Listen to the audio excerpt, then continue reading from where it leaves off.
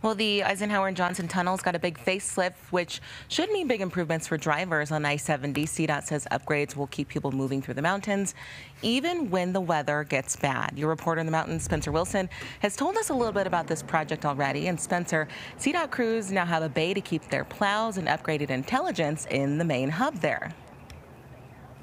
Absolutely, and you're seeing that right behind me. There are two maintenance crews that work almost 24 hours a day out here from November to Mother's Day, and now they have the tools they need in order to weather the worst of it.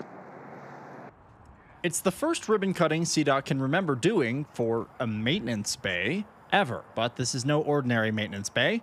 It's here to keep crews on the road and close to the problem. But the weather up here and the vertical changes that we have in elevation catches people off guard. The crews can't be pulled away for a second when the going gets rough.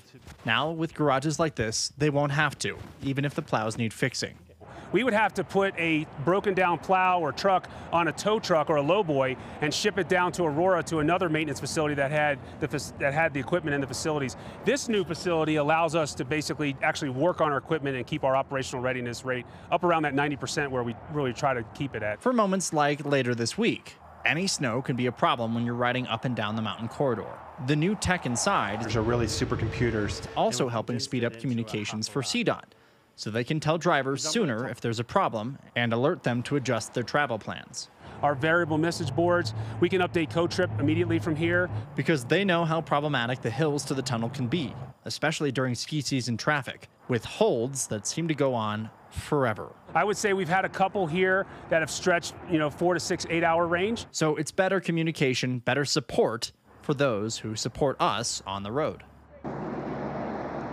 There's also showers and beds here now for those crews. And because most drivers of plows, or at least our CDOT ones are, federally regulated, they have to take breaks after every so often.